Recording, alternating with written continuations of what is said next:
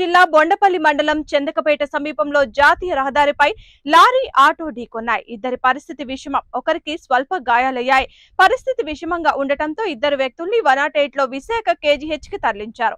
వైద్యం చేస్తుండగా బి పాపయ్య మృతి చెందారు. మరో వ్యక్తి బి రాముకి చికిత్సను అందిస్తున్నారు కేజీహెచ్ వైద్యులు.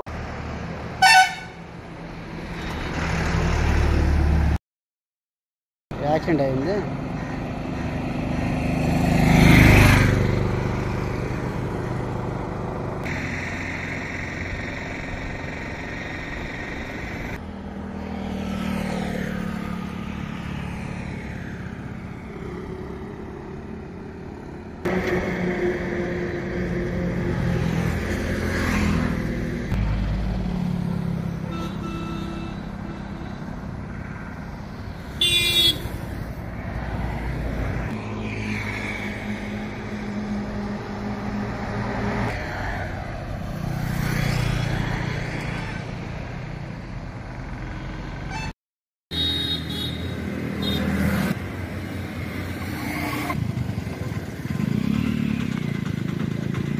मॉडर्न ब्लैंडर चाहिए मुकेश मॉडर्न